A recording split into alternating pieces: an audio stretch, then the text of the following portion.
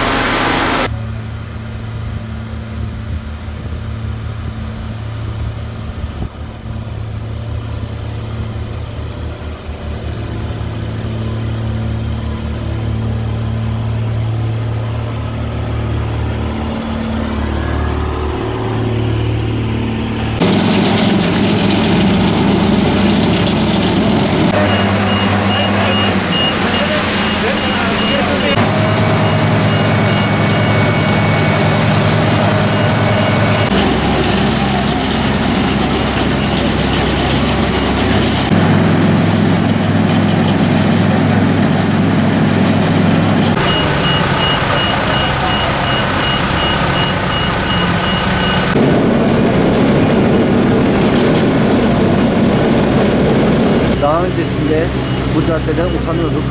Burası işlek bir cadde, ciğercilerin olduğu bir cadde. Yabancı turistlerin ilgi odağı olan bir yer. Ee, öncesinde kısım kısım çukurlar ve e, su birikintileri oluşuyordu. Bu sokağa çıkma yasağı 3 gün boyunca Büyükşehir Belediyesi ve çalışanları gece gündüz çalışarak bu caddeyi işlek bir cadde haline getirdiler, canlı yaptılar.